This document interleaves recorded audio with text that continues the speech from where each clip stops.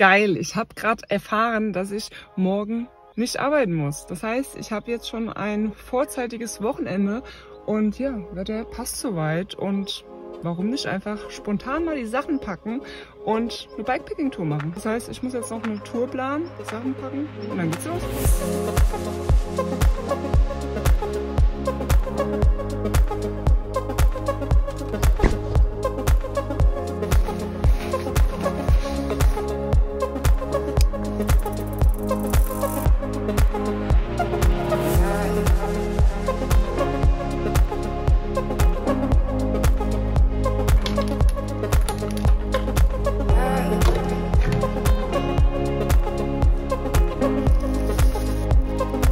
Ordentliches Frühstück darf natürlich nicht fehlen und dann kann ja jetzt nichts mehr schiefgehen. Die Route, die ich für zwei Tage geplant habe, sind 167 Kilometer mit knappen 1800 Höhenmetern. Starten werde ich in Gelnhausen, vorbei geht es an Echtzell und dann weiter nach Münzenberg. Dort gibt es wohl auch eine wunderschöne Burg zu sehen. In dieser Ecke war ich auch noch gar nicht äh, unterwegs und bin sehr gespannt. Ich habe auch die eine oder andere Burg geplant und zum Beispiel in Laubach gibt es auch ein tolles Schloss zu sehen.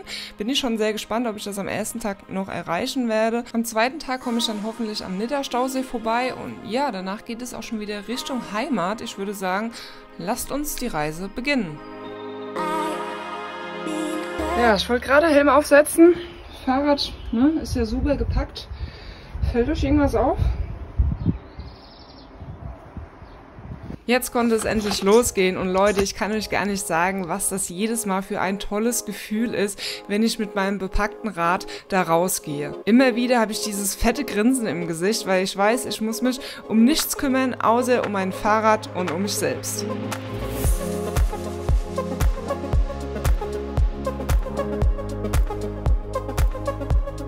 Es fängt schon langsam an, heiß zu werden und das irgendwie um halb zehn. Ja, aber im Wald ist angenehm. Ich hoffe übrigens, dass diese Zeltstangen da hinten halten. Ja, sonst habe ich die ja hier immer an der, an, hier an der Fronttasche. Aber das letzte Mal beim Mountainbike hat mich das ein bisschen genervt und deswegen ist sie jetzt mal da hinten dran und hoffen, dass sie hält.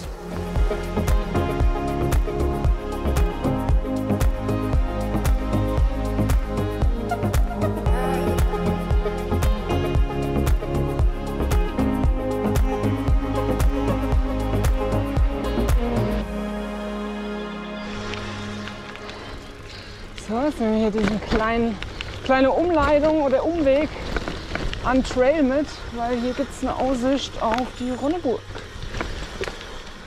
Ah, da ist er.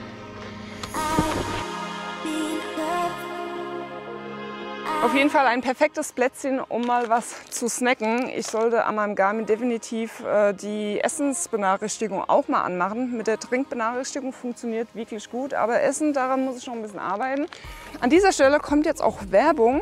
Ich weiß, das ist jetzt wahrscheinlich schon das dritte Video in Folge mit Werbung. Warum, wieso? Ganz einfach. Ähm, Momentan bekomme ich nur coole Kooperationspartner. Normalerweise ist 90 Prozent für die Tonne im Moment läuft es richtig. Und ja, und zwar geht es hier um diese Sportkopfhörer von Shox. Ich habe das Modell Open Run Pro natürlich Bluetooth und funktioniert hier mit diesem Knochenschall-Technologie und für den Sport 1A. Ich habe es nicht nur beim Joggen an, sondern ja, wenn ich hier mal eine Bikepacking-Tour mache, aber auch auf der Arbeit. Ich habe letztens irgendwie acht Stunden die Dinge aufgehabt und man spürt sie halt überhaupt nicht.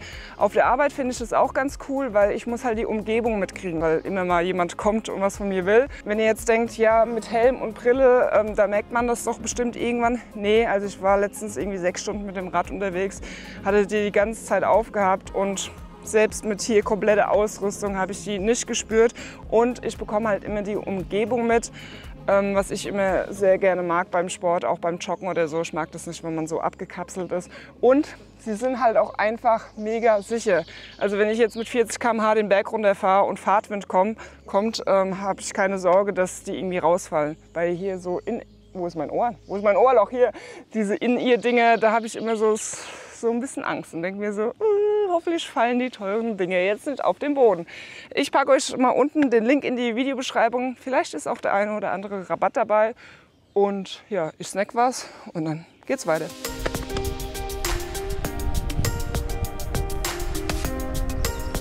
Normalerweise versuche ich ja immer so Landstraßen zu vermeiden, aber hier Bombe. Fahren keine Autos, bester Asphalt. Schön. Übrigens, was mir zu den Kopfhörern noch einfällt, ihr dürft jetzt von denen kein Soundwunder erleben. Ne? Also die sind jetzt nicht dafür gedacht, um irgendwelche Filme zu schauen im Flugzeug. Der Sound ist gut. Ihr könnt euch das so vorstellen, wie wenn ihr irgendwie ein Radio anhabt. Ja, damit ist eigentlich alles gesagt.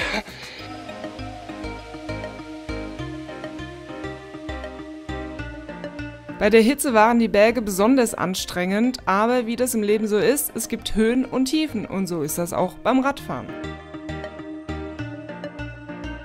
Der Fahrtwind, der ist geil, ey. Ich sag's euch. 48 Stundenkilometer.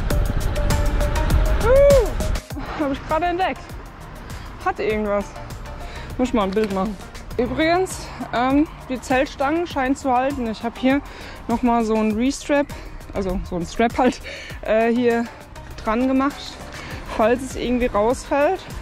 Aber ist anscheinend bombenfest sogar. Sehr gut. Also ich weiß nicht, ob ich das irgendwie verpasst habe, Umleitung für Radfahrende. Ähm, aber ich komme hier raus, muss jetzt nur wo fahre ich denn jetzt eigentlich weiter? Die Straße ist halt einfach nicht da. Da ist auch kein Radweg irgendwo. Ach, die sind ja lustig. Radfahrer brauchen auch eine Umleitung. Vor allen Dingen die, wo ein Garmin haben und automatisches Umplanen nicht von alleine funktioniert. Jo, dann fahren wir hier mal parallel. Klingt gut, oder? Jetzt kommt ein Fahrradschild verboten. Ey, jo rast aus. Von der einen in die nächste Baustelle. Ich glaube, ich habe es rausgeschafft. Ich muss jetzt hier geradeaus, dann komme ich wieder auf die, auf die Route und dann hoffe ich, dass die Baustelle hinter mir liegt. Kaum hatte ich es aus der Baustelle geschafft, war auch schon wieder das nächste Chaos da. Ich habe keine Ahnung, was gerade passiert ist. Bin seit langem mal einfach so beim Bikepacken vom Rad gefallen. Warum auch nicht? Das ging nochmal gut. Ich habe keine Ahnung. Ich wollte eigentlich nur, ich habe getrunken, wollte meine Flasche da unten rein tun und ich glaube, dass ich mein Bein so ein bisschen nach außen gemacht habe. In dem Moment ähm, hat sich mein Schuh ausgeklickt. Dann habe ich irgendwie das Gleichgewicht verloren. Mein Lenker ist vorne rumgekippt, weil halt eben auch Gewicht dran ist. Ähm, ja, und dann konnte ich mich gerade noch so retten. Ah, ja, ja. So schnell kann es gehen. Ich denke mal, dass der letzte Anstieg und die Hitze mich ziemlich fertig gemacht haben und ich nicht ganz so konzentriert bei der Sache war. Oh, was ist hier? 11% Gefälle? Na dann, Gummi, größter Gang und Bremsen parat halten. Uhu, geil! Das rollt! Ich bin eigentlich nur 33 Kilometer von zu Hause entfernt und gefühlt war ich hier noch nie. Ich habe keine Ahnung, wo ich bin. Ich fahre einfach nur diesem Gerät hinterher. Stammheimer Schloss. Ja, das ist ja auch nicht schlecht.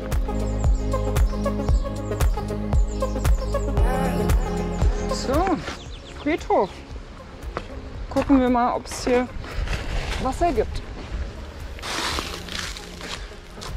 Hat jetzt nichts gestanden, dass es kein Trinkwasser ist. Hoffen wir mal, dass das passt. Schmecken tut es auf jeden Fall schon mal normal. Das ist gut. Sag mal, wo ist denn hier immer dieser... Ah, hier. Weißt du, letztens habe ich in die andere Richtung geschüttelt und dann war diese Aufrissding da oben. Irgendwie gibt es manche Päckchen, die sind richtig rum. Also so mit der Schrift in die richtige Richtung und manche sind falsch. Luxusproblem. Ansonsten geht es mir gut. Aber man muss ja auf so einer Tour auch mal was zu meckern haben. Ne? Bisher alles ohne Probleme. Nur, dass ich einmal auf die Schnauze geflogen bin. Ja, gut. Das ist ja voll schön hier. Kann hier Tiere beobachten. Ja, geil. Hier sind nämlich auch irgendwelche Gänse oder sowas. Ich kann es nicht so gut erkennen. Irgendwas Fliegendes. Hallo, Mukus. Die gucken mich alle an.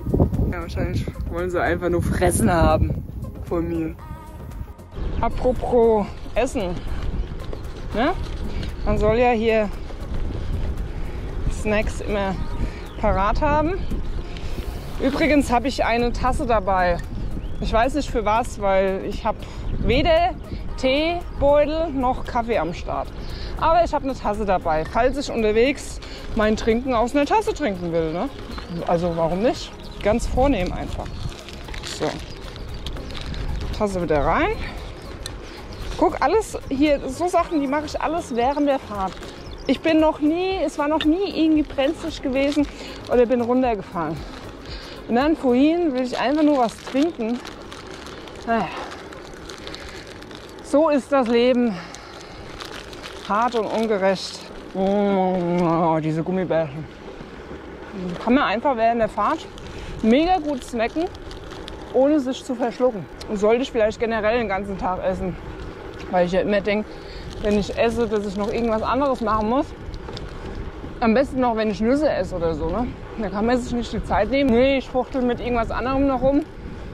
Oder bück mich währenddessen noch und dann wundere ich mich, dass ich mich verschluckt habe. Das ist jetzt übrigens so ein Abschnitt, wo ich mir die Musik anmache und dann ja, irgendwie so mich treiben lasse. Weil hier passiert jetzt nicht so viel. Man kann weit schauen und so, aber es ist jetzt, ja, es ist cool auf jeden Fall, versteht mich nicht falsch, aber halt ein bisschen eintönig. Und da finde ich das mit Musik, da macht es so Bock, hier lang zu ballern. Könnt jetzt hier noch so zwei Stunden weiterfahren.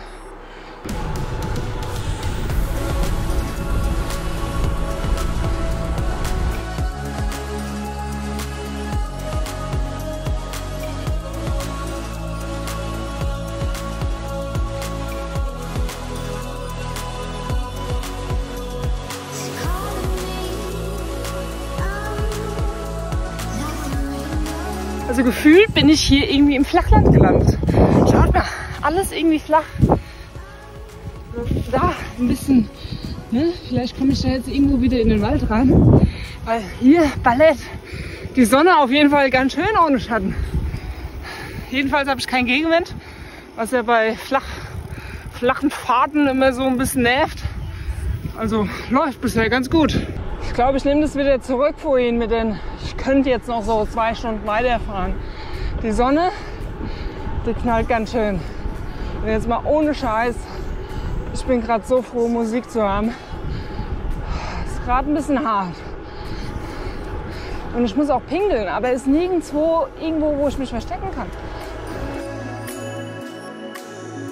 Während der Tour dachte ich mir so, hm, es war gar nicht so die schlauste Idee gewesen, eine Route zu planen, bei der ich viel im Offenen unterwegs bin. Im Wald hätte ich definitiv mehr Schutz vor der Sonne gehabt. Aber im Nachhinein muss ich sagen, es war gar nicht so schlecht gewesen, weil dadurch konnte ich in den Ortschaften ständig mein Wasser nachfüllen und das kann ich auch nur jedem empfehlen, der mit Bikepacking-Touren anfängt. Plant eure Routen durch viele Ortschaften, so könnt ihr immer an Essen und Trinken rankommen und im Notfall auch mit dem Zug wieder zurückfahren, falls ihr euch überschätzt habt. Ich muss jetzt wirklich mal pinkeln. Ne? Ich kann doch nicht hier mitten am Radweg an die Seite ähm, meinen Arsch rausstrecken. Es kann doch nicht sein, dass man hier nirgendwo pinkeln kann. Oh, das ist doch auch alles. Das ist auch nichts. Auf der Karte hatte ich schon gesehen, dass hier ein See ist. Aber war ja die ganze Zeit irgendwelches Gestrüpp davor. Kann ich jetzt hier mal pipi? Oh, ist mir jetzt egal, ey. Ich mache mir echt klein die Hose. Ne? Aber eine schöne Aussicht beim Pingeln hat ja auch was, ne? Ah, scheiße, ich höre Stimmen. Puh, ich hab's geschafft. Ich habe die Hose gerade hochgezogen und dann kam jemand vorbeigelaufen.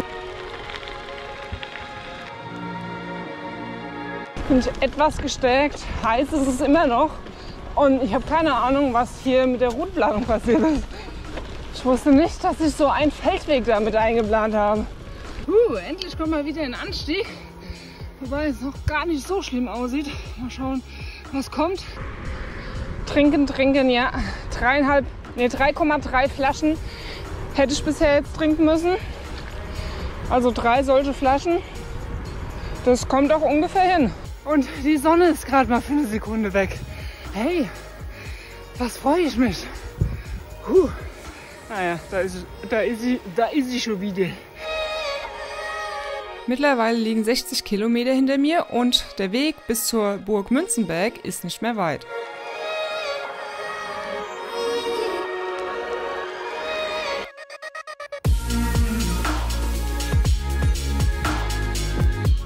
Ich stehe hier zwar mitten in der prallen Sonne, es ist mega heiß, aber hier ist eine schöne Burg. Also was will man mehr?